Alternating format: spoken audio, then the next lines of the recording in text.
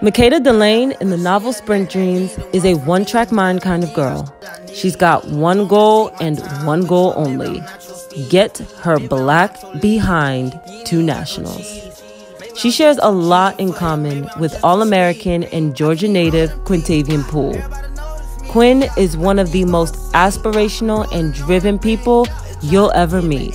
He keeps it completely 100 in his goals, thoughts, and ambitions. He's not afraid to run with the big dogs, and he is clearly showing that he belongs with them. He is tough, a natural talent since high school, and is willing to take on damn near any workout. I know this from spending the morning watching him run one of the toughest workouts I've seen.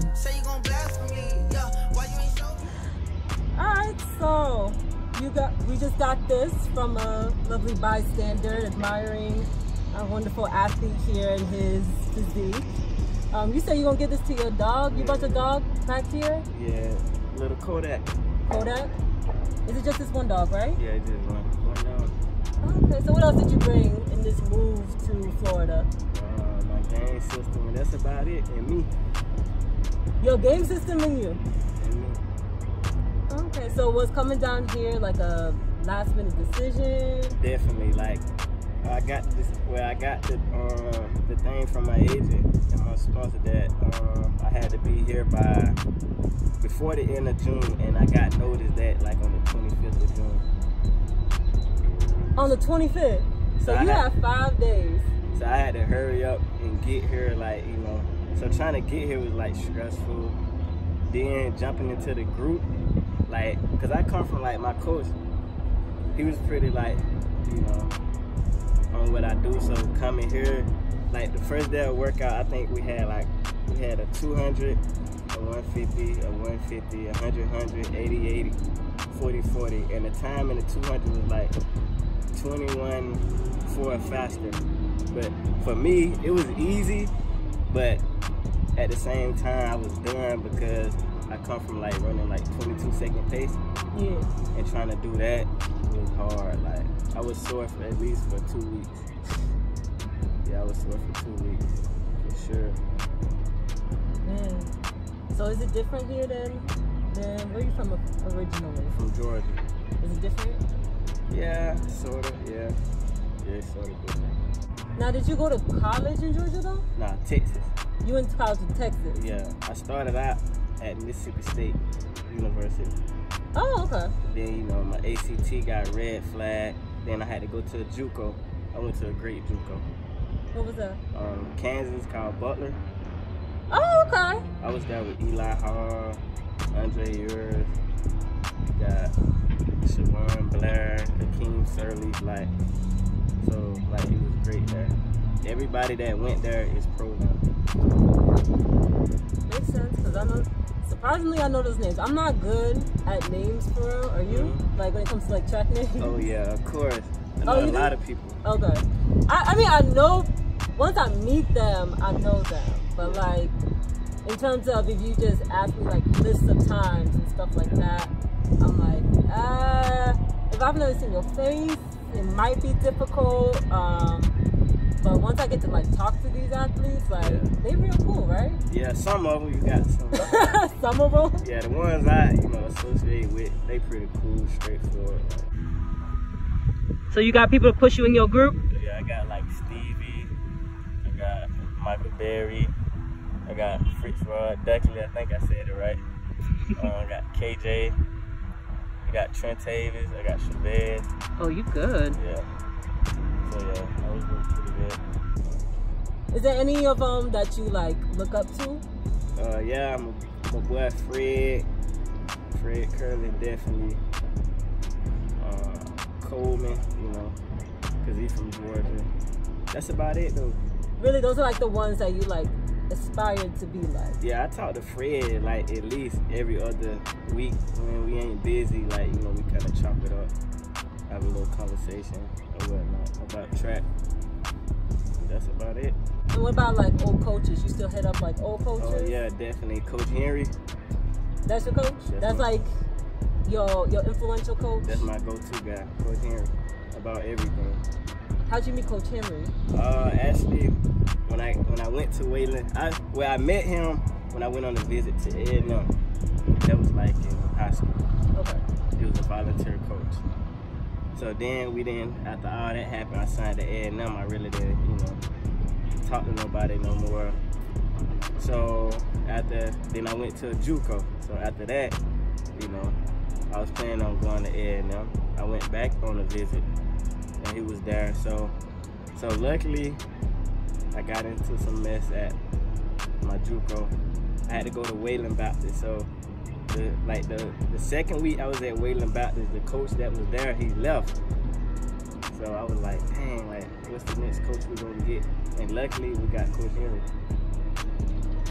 So when I found out we was gonna get him, like everything started falling in place. Like he started running fast and whatnot. And he like he came like he was like a father figure to me. So we had a plan. So that was pretty good. So what kind of advice did he give you for off the track? Graduate, I like that. graduate college. Stay focused. So was he like hard on you? Of course, definitely, definitely. Me, yeah, definitely.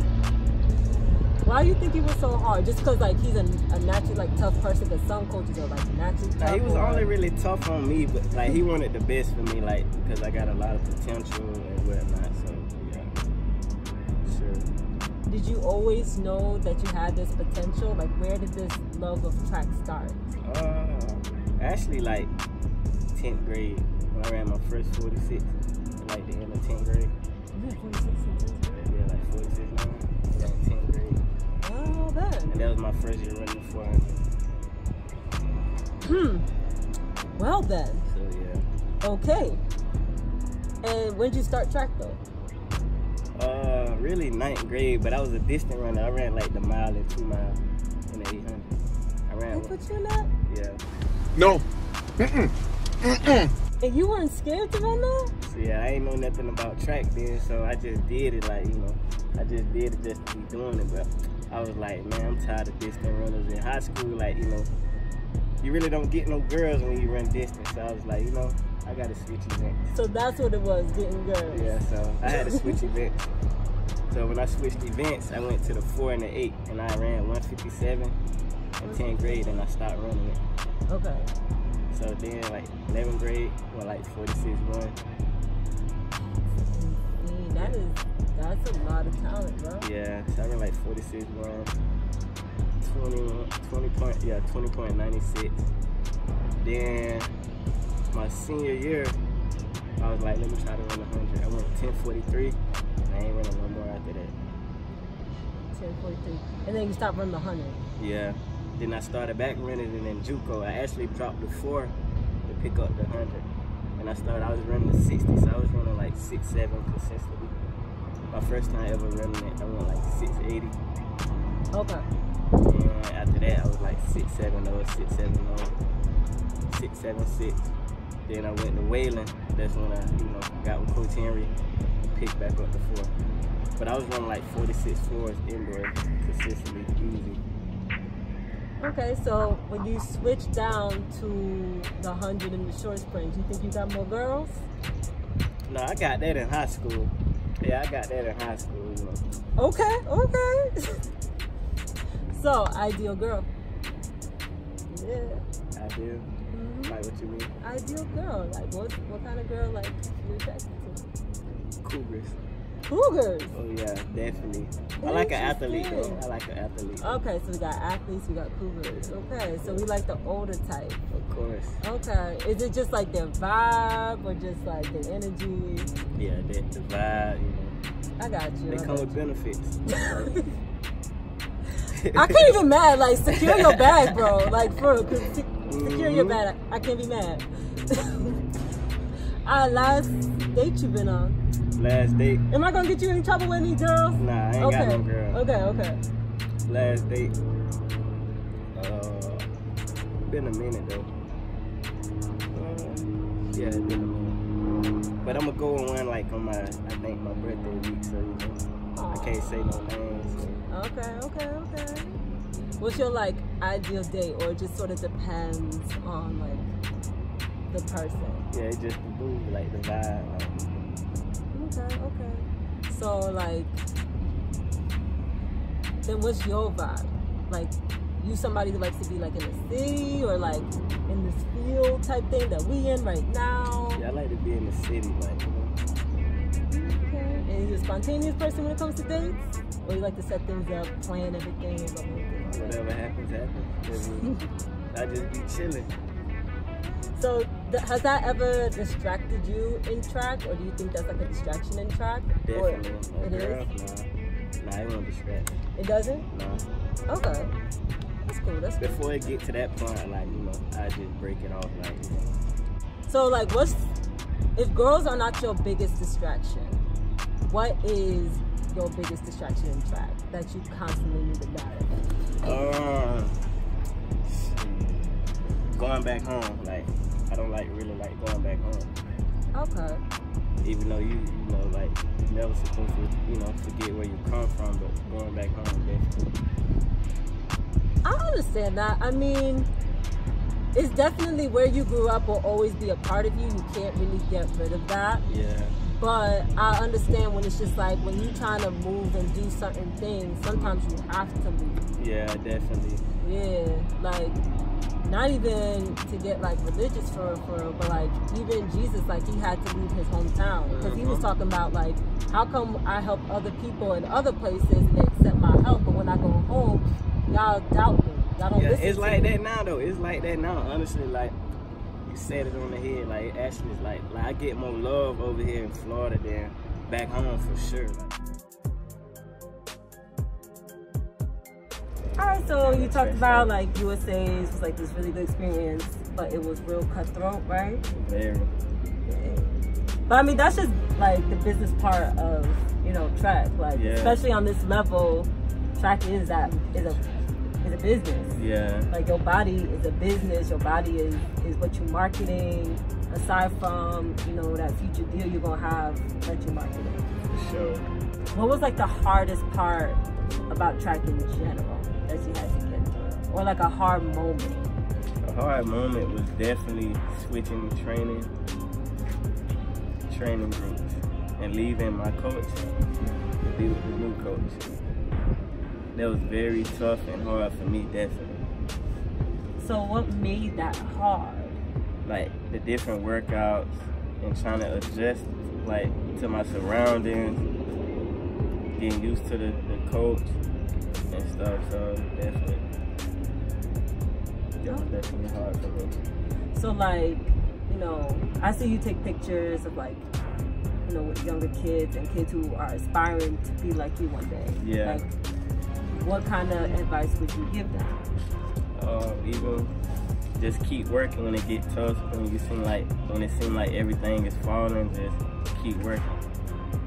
That's what I use. Like just keep working. Okay. Any like common distractions that you think, or it just sort of depends, like the personal things in everybody's life. Yeah, definitely. Definitely. And what could you give yourself that that young you in high school running them 1500s, not getting all them girls? what advice would you have given that person? Uh, yeah, I really wasn't giving nobody advice then. I was just trying to like you know see this what I wanted to do like at the end. Like you get what I'm saying? Like, What you mean what you want to do at the end? like if this what I really want to pursue or play football. So I really didn't like at that at that time I really didn't know what I wanted to do. So I mean, but do anybody really know what they want to do at like 15? no, not really. No, Yeah, that's thought I was gonna be a football player or you know play for UGA or whatnot. That's what I was thinking until I ran so fast and I was like, oh yeah, I'm gonna stick with it. And I mean, track, you get to be surrounded by pretty chicks all the time. Definitely. Because I mean, look, I gotta brag for us track girls. You know, we we be killing it. We kill it. So yeah, look out for Quinn Poole. oh yeah. Quimpool on Instagram. Might have a Twitter, so we might have to look out for that. And we're looking forward to your next big race, which is World Champs. Oh yeah, definitely. All right, World Champs. We Trying to win that. it for sure. All right, all And right, more. all right. So we're looking out for World Champs. We're looking out for some big times Yeah. to beat these people's behinds, all oh, Yeah, that. definitely. All right.